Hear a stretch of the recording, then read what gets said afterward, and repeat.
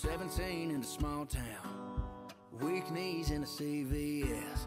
Door locked in the bathroom. What's it gonna be waiting on that test? Never thought that they'd be putting those life plans on the shelf. A couple American babies raising one up theirself. One beer turns into a lit cigarette, burning into a two beer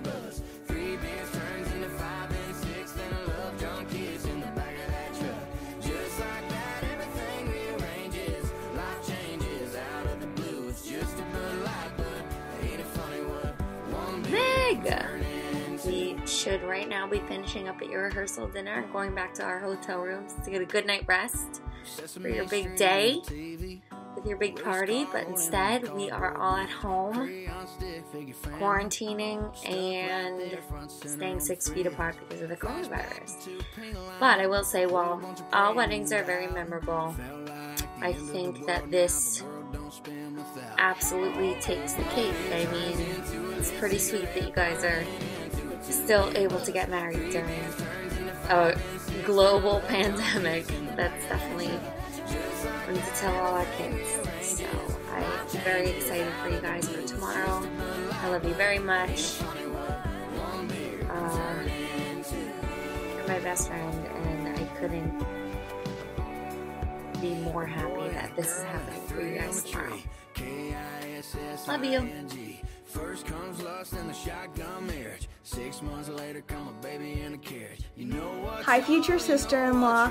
I just wanted to say happy almost wedding day. I can't believe it's finally here. I know this isn't how you and Michael saw your wedding going exactly, but now it's going to be even more special that you have two dates to celebrate. I just wanted to tell you how excited I am to finally be getting a sister. You know I've been dealing with Michael and Nicholas my entire life, and I've had it up to my eyeballs.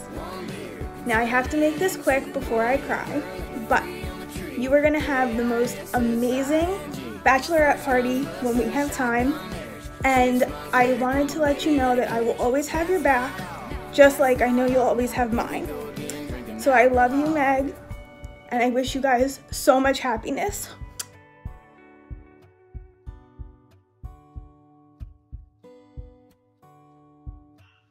Hi, Megan. Wow, I can't believe tomorrow's the big day. It's crazy how fast time goes. Um, you're getting married. Like, what?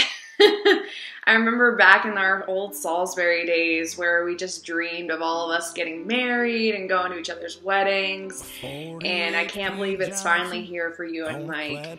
You guys are such an amazing couple. You inspire such love and passion with each other that, um, you know, I think it's pretty remarkable. Um, you know, we've uh, can't believe we've known each other for I guess it's been almost 10 years now. Just remembering our days back in Salisbury, uh, all the parties and all the drinking. And then, uh, so we'd go from what? We went to Choptank, then we did Seagull Square, and then we moved into our house in Dogwood. And we've had so many fun memories along the way. Uh, can't, you know, wouldn't be the same if I didn't include the bitches be drowning. so I have to include that in there. Um, and then freaking all the memories in our dogwood house, just thinking that thing was haunted, and all the spider crickets and the massage parlor, you name it. And then, of course, our trip to uh, Cedar Point. That was so fun and so needed. And you know, I look forward to doing those kinds of trips all together. Um, I know tomorrow is not exactly how you planned it originally, but know that it's going to be beautiful. And then come July 4th, it's going to be just spectacular. Um, I'm so excited to be able to spend that day with you. And uh, I know you and Mike are going to just have an awesome, awesome, happy marriage going forward. So I just wanted to stop in and say hello and that I love you and I love Mike and I cannot wait to be at your big day. And I wish you all the very best. I love you and can't wait to see you. If it ain't got no strings, pouring your heart into a song that you ain't gonna Hi, Meg.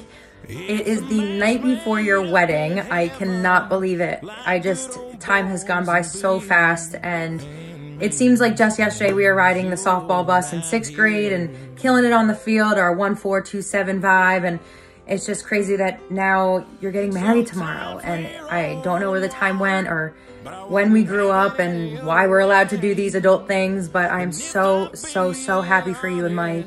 And I'm so honored that you picked me as one of your bridesmaids. And although I'm so, so sad that I won't be able to be there with you tomorrow in person, I am so happy that everything worked out and you can get your wedding date of May 9th and we will have a huge celebration when that ceremony day comes and it's going to be such a magical day and you so deserve it. So um, i thank you for being such a great friend for all these years. Um, you've been there for me through some of the hardest times of my life and you i know you'll continue to be there for me and as i'll be there for you and I cannot wait to watch you and Mike's love journey go even further as as husband and wife because I was there from the beginning, which is so crazy.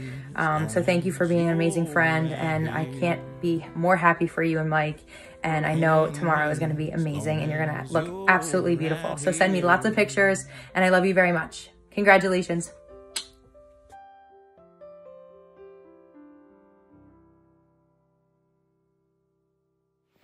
Hi, Meg. I cannot believe you are getting married tomorrow. It does not seem real.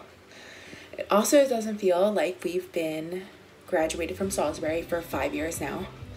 We've done so much together and been through so much from living in Choptank together, from living in Seagull Square, and to uh, living on Dogwood Drive. Um, we've had our upstairs neighbors in Seagull Square play the motto every single day for two years and have it literally shake our walls. Uh, I watched you get shocked by electricity when you tried to um, set up our Comcast box and fry and melt Michelle's TV. Um, and we can't forget the raccoon family that moved into our fireplace um, when we moved into our house on Dogwood. uh, we made a lot of memories um, at Salisbury, especially when we became orientation leaders together, and uh, of course, working Safe Ride. So, I guess we can say another one of the seagulls is officially leaving the nest tomorrow. Um, I am so grateful to become such good friends uh, and I am so blessed to be one of your bridesmaids.